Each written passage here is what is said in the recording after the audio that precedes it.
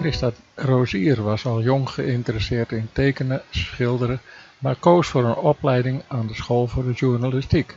Ze werd productieassistente en in 1984 omroepster bij de Evangelische Omroep. In 1987 kreeg Christa Rozier een zoon, Efraim. In 1990 dochter Rachel. In 1996 nam ze afscheid van de televisie. Zij volgde schilderlessen aan de Gooise Academie in Laren. Aanvankelijk schilderde ze vele portretten. Na het overlijden van haar 14-jarige zoon in 2001 legde ze zich toe op het uitbeelden van psalmen. In 2009 worden 24 van haar schilderijen in boekvorm uitgebracht, aangevuld met een korte overdenking van onder andere Arie van der Veer, Henk Binnendijk en Rickert Zuiderveld. In 2005 kreeg uh, Rozier borstkanker. Christa Rozier overleed in 2011 op 50-jarige leeftijd. We zijn aan het, uh, aan het opnemen in de, vanmiddag in de Doopsters in de kerk in uh, Buitenpost. En dat zijn allemaal schilderijen die gebaseerd zijn op Bijbel, op psalmen. En ik heb een gesprek met Karin.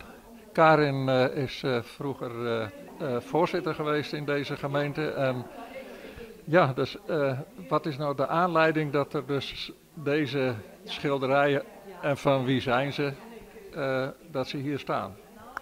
Wel, wij organiseren al een aantal jaren een tentoonstelling tijdens de feestweek van Buitenpost. En we proberen altijd of een persoon te vinden die met buitenpost te maken heeft, of een thema wat met geloof of met de kerk te maken heeft.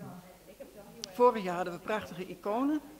En dit jaar kwam uh, een groepje van twee vrouwen die de tentoonstellingen organiseren, uh, met deze schilderes op de proppen. Het zijn schilderijen van Christa Rozier en die heeft ze allemaal gemaakt nadat haar zoon was overleden. Toen is ze meer begonnen met schilderen. En is ze begonnen met de psalmen uit te beelden.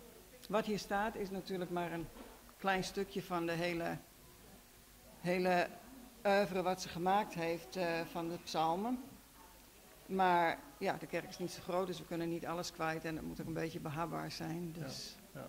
dit is wat de dames uitgezocht hebben. Ja. Zijn er ook uh, bijzondere stukken bij die, uh, waarvan je zegt van nou daar zit wel een verhaal bij?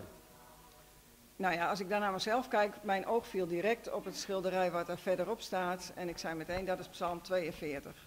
Psalm ja. 42 was vroeger uh, het heigend herde jacht ontkomen. En later werd het evenals de moeder hinde naar het klare water smacht. En daar, vind ik dus, daar heb ik dus helemaal niks mee. Nee. Dat heigend hert wel, maar de hinde niet. Maar dat is iets wat je direct opvalt gewoon. Ja. En waar je oog op valt. En er zijn meer prachtige schilderijen. En sommige zie je niet meteen uh, een psalm in, maar die vind je gewoon heel erg mooi. Ja. Er zijn ook twee bijzondere stukken. Eén schilderij van haarzelf. Zij is intussen zelf ook overleden aan de gevolgen van kanker. En eentje waar haar zoon en haar dochter op staan. De zoon die dus op mijn 14-jarige leeftijd is overleden. Ja, ja, heb ik gelezen, ja. ja.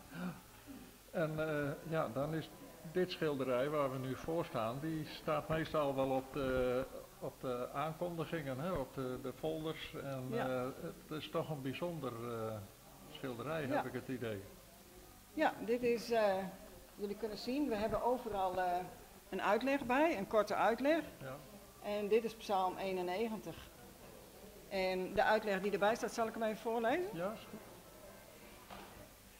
Een aan de vleugel gewonde duif schuilt in de beschutting van een rotspleet.